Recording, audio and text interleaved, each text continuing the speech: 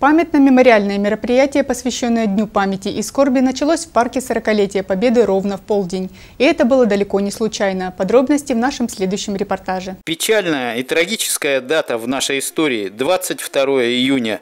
Для того, чтобы выстоять против фашистских полчищ, победить сильнейшую армию, нашим воинам, всему народу понадобилось напряжение всех сил, и за победу пришлось заплатить очень большую цену.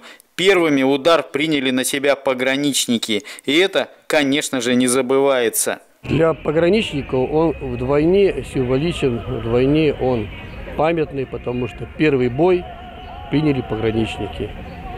Первые заставы, которые стояли на западной границе в течение двух дней, недели, даже больше, стояли до последнего, отражали натиски врага.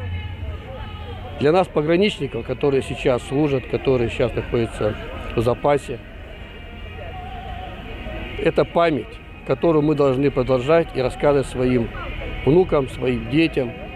Мы сегодня возле памятника пограничников будем возлагать венок, будем рассказывать о героических поступках пограничников – в этот день скорбит вся Кубань, все потомки великого народа-победителя. Он пережил военное лихолетие, выстоял в этой кровопролитной войне. История, которую все должны сохранять и передавать через поколения, это настоящая гордость России. Все, что связано с той войной, это наша душевная боль. И одновременно наша огромная гордость за победу, за наших ветеранов и тружеников тыла – которым мы безмерно благодарны. У нас в каждой семье есть свой солдат, свой ветеран или труженик тыла. Все они поколение победителей, которые своей жизнью, своим трудом, своими лишениями подарили нам мирное небо над головой. Возможность жить, растить детей, радоваться каждому дню, об этом мы будем помнить всегда. Вахту памяти от ветеранов Великой Отечественной войны, тружеников тыла и детей войны принимают и продолжают представители молодого поколения.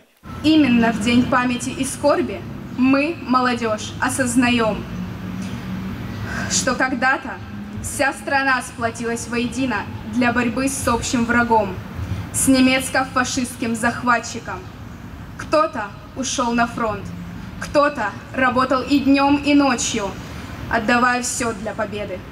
Наши ровесники сложили головы ради будущего своей страны, ради того, чтобы мы могли радоваться жизни и свободе.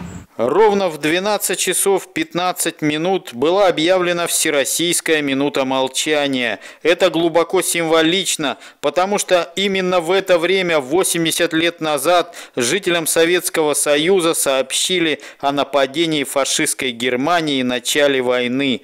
Затем состоялось возложение живых цветов к вечному огню и к мемориалу павшим героям.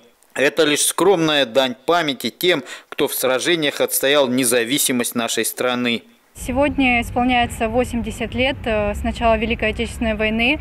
Эта памятная дата очень э, важна для нашего народа, так как э, много жизней отдали советские солдаты и мирные жители для того, чтобы мы сейчас видели мирное небо над головой и жили долго и счастливо.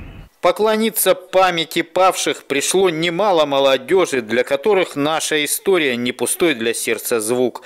И пока жива эта священная память о подвиге солдат Победы, мы будем изо всех сил противостоять любой войне. Андрей Вишневский, Игорь Ванчугов, программа «События».